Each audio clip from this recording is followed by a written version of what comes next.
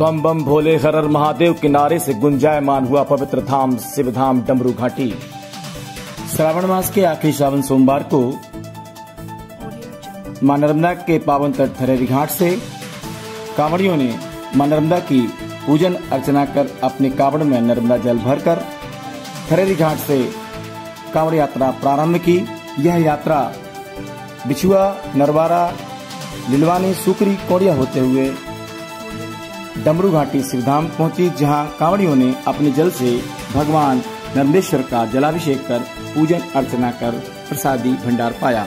आपको बता दें कि इस कांवड़ यात्रा का जगह जगह भव्य स्वागत हुआ, तथा कोड़िया गार्डन वगैरह के बीच में धर्मावलंबियों ने समाज सेवियों ने इन कांवड़ियों पर फूल बरसा कर भी उनका स्वागत किया।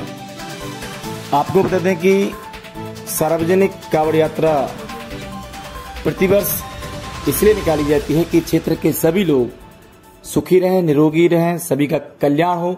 इसी भावना के साथ प्रतिवर्ष यह थरेरी घाट से डमरू घाटी तक निकाली जा रही है तथा इसमें सहयोग करने वाले भी लोग खूब बढ़ चढ़ कर भाग ले रहे हैं।